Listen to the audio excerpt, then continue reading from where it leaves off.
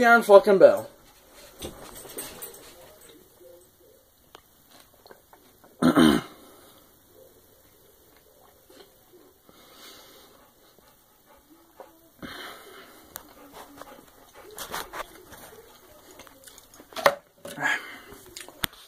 Wake up this morning,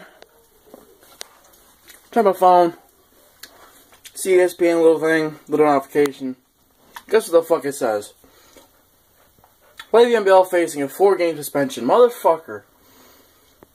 What the fuck is your... What is your athlete's problem with drugs, man?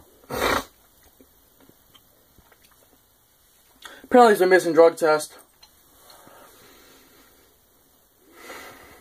apparently, according to Lee, that means basically failing a drug test, so...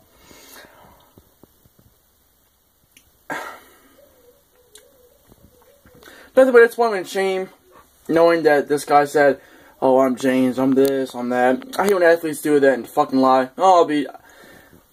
They say this shit, then the next year they're fucking in trouble again. Like, get your shit straight, because you are one of the very few people with this opportunity in the world to play for this sport and play for the biggest title, biggest championship in in sport in U.S. sports history, and you're gonna fuck it up by doing some fucking drugs, man.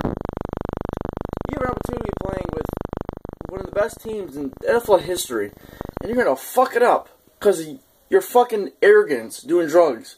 The fuck is your problem? Makes me sick when I see players do this all the fucking time.